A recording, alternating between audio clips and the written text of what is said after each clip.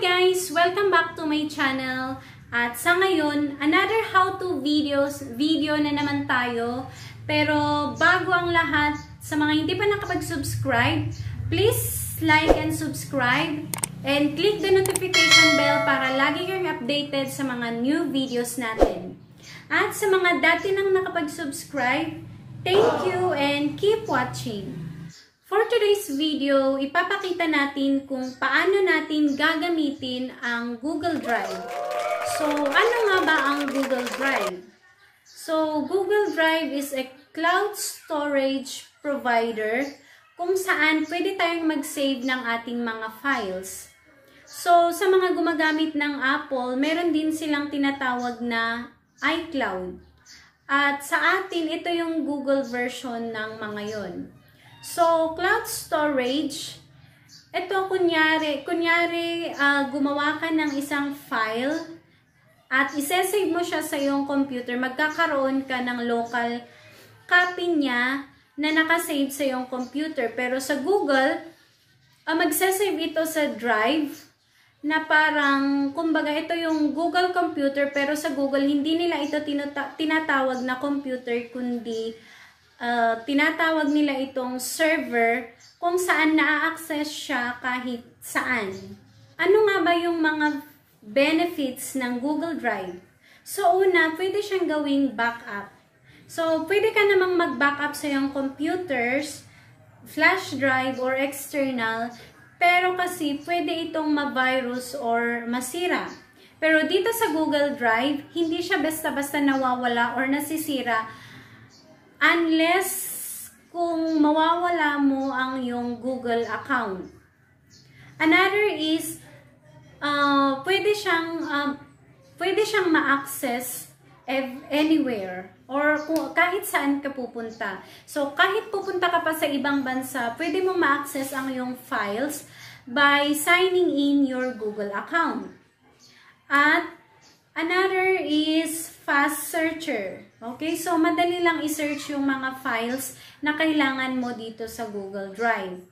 Ang pinakamaganda dito is pwede kang makipagtrabaho sa iba by sending your link. I-send mo lang yung link ng file na ginagawa mo at pwede ring ma-access na ma-access ng ibang tao kaya pwede niyong pagtulungan ang isang file or yung isang project na ginagawa ginagawa nyo dun sa Google Drive.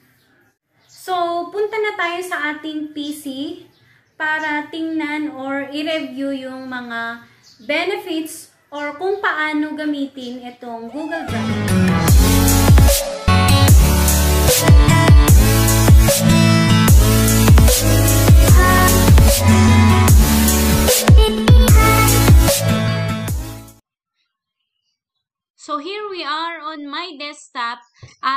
Makikita natin dito na nakalagin na ako sa Google. Okay, so para makapunta tayo sa Google, Google Drive, sa ating Drive account, uh, one way is type, i-type natin yung drive.google google.com enter and then yan okay so na-open na ang aking uh, Google Drive account. And another way is, dito sa right side, right side, makikita natin itong waffle menu. Click lang natin siya and then makikita, lalabas dito yung mga different Google apps. So, andito yung Map, Search, Play Store, YouTube, at mga iba pang mga Google apps. Okay, so i-click natin si Drive. And then, yan. Okay? So, andito na tayo sa ating Google Drive account.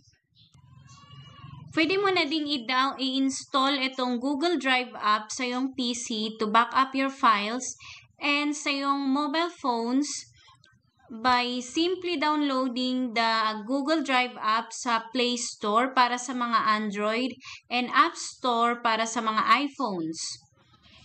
At dito sa left side options, okay, dito sa plus or new menu, menu, click natin siya and then dito pwede tayong mag-create ng folder. para i-organize yung mga uh, files natin dito sa Google Drive. So, like for example, click natin siya and then gawa tayo ng new folder. Um, kunyari, office files. Okay? And create. Okay. So, ito na yung folder na ginawa natin para sa office files. Okay, so pwede nating i-organize yung mga naka-upload na files natin dito. So, tingnan, hanapin natin yung mga office files. For example, ito, pwede natin siyang i-drag. I-drag doon or, ayan, okay. So, upon dragging, uh, andito na sa loob ng office file folder yung justification. Okay? Or pwede na ding, pwede ding right click natin yung file and then move to and then lalabas yung mga folders or uh, lalabas itong my drive click natin yung folder and then move Okay? So, para ma-organize yung ating files dito sa ating Google Drive. Okay? So, andito na sila sa loob ng Office Files. So, next is itong file upload. Okay? So, dito, pwede ka na din ang mag-upload ng files, file. So, kung, file, kung single file lang ang i-upload mo, it, itong file upload ang i-click mo at folder upload naman kung naka-folder yung gusto mong i-upload. And then dito sa baba, pwede ka na ding mag-create ng blank document. Okay? So, blank document, blank sheets. Okay? Para sa Excel at ito, iba pang mga uh, Google contents. Okay? So, kompleto dito. Okay, so dito sa my drive, dito natin makikita yung lahat ng files natin. At pwede nating ma-click dito sa itong parang arrow dito sa side niya. And then makikita natin yung mga folders and subfolders kung meron man. So dito, may, okay, so dito sa my picture, meron siyang subfolder na phone picture. Okay, so pwede din nating kulayan yung folders kung gusto natin para alam natin yung may mga subfolders. Okay, so yan. Okay? And dito naman sa computers, okay, lalabas lang ito, lalabas lang yung files dito kung nakasynchronize yung files dito sa app. Okay? So pero uh, Bago yon dapat naka-install yung application dito sa ating PC para mag-synchronize yung mga application. Dito natin siya i-click and then get backup and synchronize for Windows. Okay? Pwede natin siyang i-install dito sa ating computer. So, dito sa shared with me, Okay, so dito naman natin makikita yung mga folders and files na naka-shared with us. Okay? Naka-share sa atin. So, ito yung mga files and folders na uh, i-share nila sa, sa akin. Okay? And then, dito sa res, recent, okay, makikita dito yung mga recent activities. Okay? So, yung recent activities ko is nag-upload ako ng pictures and files. Okay? Dito sa start, Okay, makikita naman dito yung uh, files or folder na nalagyan natin ng star or parang ito yung um, favorite uh, folder. Okay, so dito, ang nilagyan ko ng star is itong application doc kasi ito yung lagi kong ino-open or lagi ko siyang uh, hinahanap para mas madali yung mahanap yung uh, uh, file na gusto nyo. So, kunyari, um, dito sa hanap tayo ng files. Okay. So, for example, itong PDS. Okay. So, right click natin siya and then i-click natin yung add to start. Okay, so parang ito yung sa ibang app, yung pin document or pin files add to pin ganun sa ibang uh, ibang application. So, yun na star na nalagyan natin ng star itong PDS at mas madali natin siyang mahanap kung uh, hahanapin natin. Punta lang tayo dito sa start and then ito na yung mga documents. At dito naman sa bin o oh, recycle bin, dito naman na, natin makikita yung mga uh, na-delete natin na mga files or folder. Okay? And dito sa baba, makikita natin yung storage natin. So, dito, uh, yung capacity ng ating storage is 15 GB. So, I already used 2.38 GB. Okay? So, medyo mabigat yung videos at pictures na na-save ko dito sa aking uh, Google Drive. Pwede nating i-click itong storage, storage at makikita natin yung mga files, yung mga uh, storage used by our files. Okay? So, dito natin makikita kung ano yung, kung alin doon, aling files ang may mabigat na size, size or storage consumed.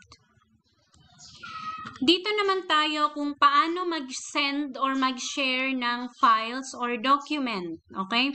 So, dito tayo sa My Drive and then hanap tayo ng isang document na i-send natin. So, kunyari dito sa Office Files, okay, so kunyari ang isa-send natin is itong um, PowerPoint presentation.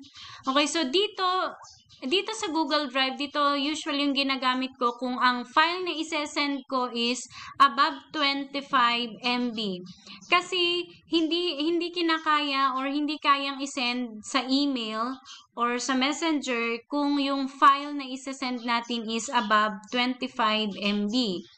So, kung parang itong files na to, uh, 64.2 MB siya. So, kailangan dito natin siya i-upload muna bago natin bago natin i-send sa email or sa messenger or kung saan natin uh, gustong i-send. So, pagka-upload dito sa file, i-right click lang natin siya and then i-click natin itong share or get link. Okay, pwede natin dito sa share and then lalabas itong share with people and groups. Dito sa setting option, uh, settings option dito sa side, pwede din, uh, dito natin um, i-adjust. Pwede nating i-click ito para editors can editors can change permission and share or viewers can and commenters can see the option to download, print, and copy. O, pwede natin siyang i-check yung both na options dito. And then, i-type na natin yung email na gusto nating sendan. And then, dito sa baba, pwedeng maglagay ng message. Mm -hmm. The blah blah blah or kung anong message na gusto mong uh, ilagay dyan. And then, click send. Okay, so mare-receive na ng ating receiver yung file na na-send natin. Or, pwede din namang get link and then uh, i-copy natin yung link and then send natin sa messenger. I-paste natin sa messenger pero hindi pala ako nakalagin sa Facebook. I-paste natin sa messenger or sa email. Okay, parehas din lang para ma-receive siya ng uh, receiver. Kung ma-receive ng receiver yung link na yon, uh, ik, uh, pag i-click niya yung link na na-send natin, uh, pupunta siya kung saan nakasave yung ating uh, file. And then, pwede, pwede na din niyang i-download or i-print. Ganon. Okay, so dito sa taas, may mga options dito sa taas. Dito yung shortcut keys ng um, get link. Para sa pag-copy ng link, ito lang yung i-click natin. Yan, okay? And dito naman, shortcut ng share, sharing. Okay, so the same. And then, ito naman sa preview. Okay, kung gusto nating i-preview yung document. O, yan. And delete, kung gusto nating i-delete. And then, dito sa 3 dot, ito yung parang lalabas, same din lang sa lalabas na option pag i-right click mo yung documents. Okay, and then ito naman, kung gusto mong naka-grid view yung, yung mga files or naka-list view. At dito naman yung recent activity, activities mo dun sa file na nandito. Okay, so yung ating um, i-review for today. At kung may mga tanong pa kayo about dito sa Google Drive, pwede nyong i-comment below or message me directly para uh, gawan din ulit natin ng another video. Okay, so thank you for watching and don't forget to like and subscribe. At keep watching lang hanggang masundan ang ating steps.